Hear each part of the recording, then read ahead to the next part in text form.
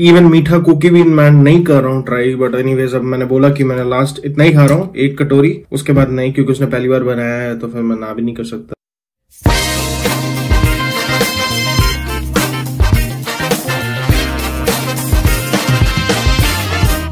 Guys welcome back to the channel आज के दिन की शुरुआत थोड़ी जल्दी हो गई है क्योंकि मैं जल्दी उठ गई थी। इस वजह से और मैंने काम जल्दी शुरू कर दिए हैं और ठंड जो है धीरे धीरे बढ़ने लग गई है। आज बन रहा है नाश्ते में गोभी के पराठे। आज एक्चुअली ब्रेड ही नहीं थी घर पे तो सोचना पड़ा कि क्या बनाऊँ। ब्रेड होती है ना तो बहुत इजी होता है। कभी कभी ना हम लोग यूजुअली ऐसे ही सोचते हैं कि हाँ नहीं जर्मन बहुत स्ट्रेट हैं। हमने बस सुना ही सुना है कि जर्मन बहुत स्ट्रेट हैं। तो कभी उसका रियल लाइफ एग्ज़ाम्पल आप लोगों को कभी देखा नहीं होगा या तो and problem was only that user had no time to wait, but much time to write mails. मन तो ये भी था मेरा कि यहाँ पे जाके बैठूं बट एनीवेज वो मैंने क्लीन आउट कर दिया एंड द थिंग इज़ कि ये जो ब्राउन वाले है ना, ये बड़े खराब चीज़ है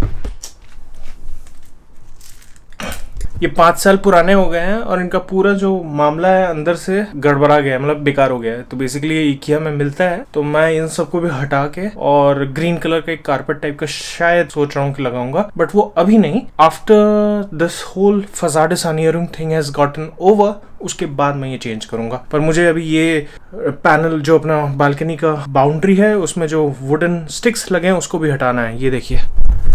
इस चीज़ को। और आज हम निकले नहीं कहीं बाहर। हम सोचे कि घर पे थोड़ा सा टाइम बताते हैं। फर्नीचर डिसअसेंबल करने का और एक फंडा ये हुआ कि जो उसके साथ जो गद्दे थे, वो गद्दे भी अब बाहर ही रहेंगे, क्योंकि अब गद्दे हम कहीं और डाल नहीं सकते, हमारे पास जगह नहीं है तो लिविंग रूम में रहेगा फ़िलहाल तो। And this is gonna be the case until the next summer comes until और मे बी अगर वो बैल्कनी ठीक हो जाए और मेरे में एनर्जी आ जाए और मैं फिर से सब कुछ असेंबल कर दूँ तो फिर वो वापस बाहर चले जाएँगे बट अभी तो मेरा कोई प्लान नहीं है, क्योंकि अभी मैं थोड़ा सा अपना को रेस्ट देना चाहता हूँ। कल बहुत ज़्यादा मेहनत हो गई थी लास्ट वाले ब्लॉग में अगर आपने देखा होगा।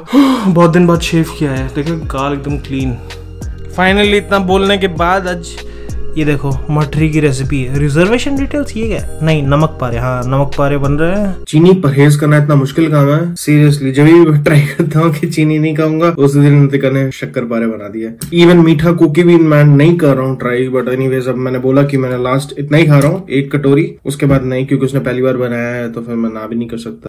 Somehow this is restriction that I put on myself let's see how good it works usually काफ़ी बातें होती हैं, आप जो दिन में सुनते रहते हैं और हार्डली आपको कोई बात टच भी करती है, पर कल मुझे ऐसी दो बातें हैं जो काफ़ी टच कर गई जो मैं आपसे शेयर करना चाहता थिंग इज़ कि तुम जैसे कर रहे हो, हमने भी वैसे किया। This is how the thing should be कोई ऐसे बोलता नहीं है which is very much right हम हर कोई अपने लाइफ के सर्कमस्टांसेस में होते हैं, जहाँ पे हम कोई ना कोई, कुछ ना कुछ काम कर रहे होते हैं, जो किसी और ने पहले से कर रखा होगा एंड देन वो उस चीज़ पे एडवाइस देते हैं। मैं ये नहीं बोला कि किसी ने मुझे एडवाइस दिया या कुछ बट ये एक कोटेशन में था कि हर कोई जब एडवाइस देने को देने को आता है तो ऐसा लगता है कि हमारी ज़िंदगी में कुछ मिसिंग है something which you are not doing right which is not usually the case rather you should also think in the way कि तुम जो कर रहे हो that is also good that is how the thing should be probably तुम इसको ऐसे direct कर सकते हो. So then the things would not look more as an advice would look something like in guidance और समथिंग बट एडवाइस और guidance में फ़र्क है, ये फ़र्क इस चीज़ का है कि एडवाइस ये बोलता है कि तुम शायद तुम जो कर रहे थे वो शायद ठीक नहीं था। और गाइडेंस ये होता है कि तुम जा रहे हो लाइन पे हो, तुम ये कर लोगे तो थोड़ा सा और सही हो जाएगा। बस ये है। और दूसरी बात जो मैं बोलने वाला था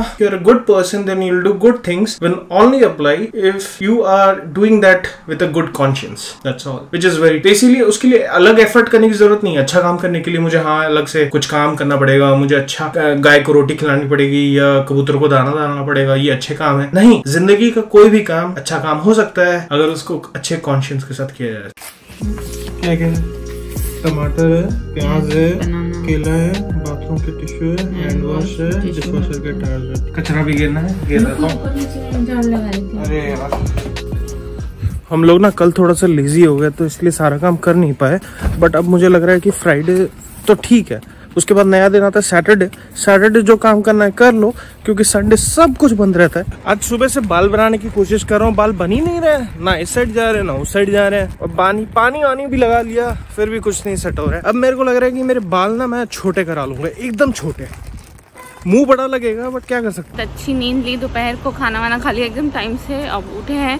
कल हम लोग कल हम लोग वॉकिंग पे नहीं जा पाए थे तो आज हम लोग वॉकिंग पे निकले हैं। पता नहीं कहाँ जा रहे हैं बट जा रहे हैं कहीं पे। और थोड़ा बहुत ऐसे इधर उधर कुछ काम है वो करने भी निकले हैं। कुछ बताने नहीं है फिर भी बोलना है। आज हम लोग निकले हैं वॉकिंग पे but this is a very different walk हमारी जो डेस्टिनेशन है वो बहुत दूर है वॉकिंग से। तो इसीलिए इसे आधा वॉक और आधा पब्लिक ट्रांसपोर्टेशन के सब करेंगे।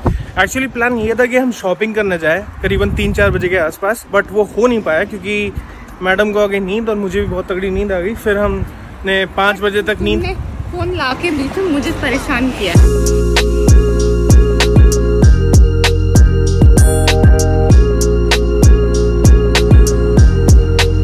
कितने टाइम बाद आए पिक्चर देखने? एक साल से ज़्यादा हो गया।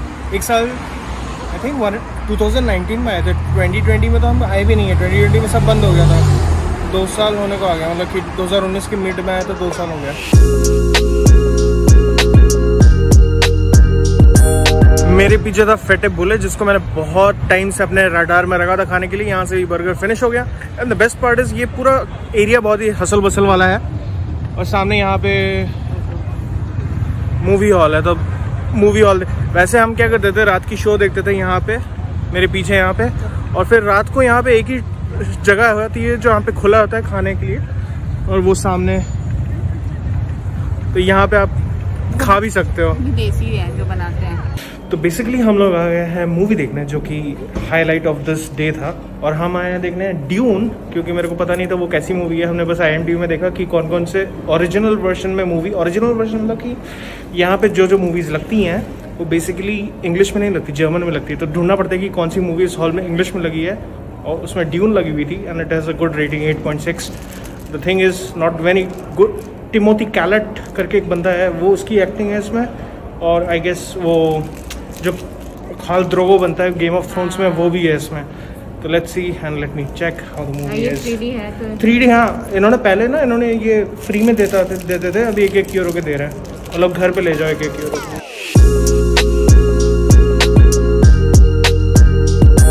तो बेसिकली रात के साढ़े ग्यारह बजे मूवी खत्म हो गई। अच्छी मूवी थी बुक के ऊपर थी काफ़ी लंबी थी। मेरे को लगा तीन घंटे खींच जाएगी नहीं खींची।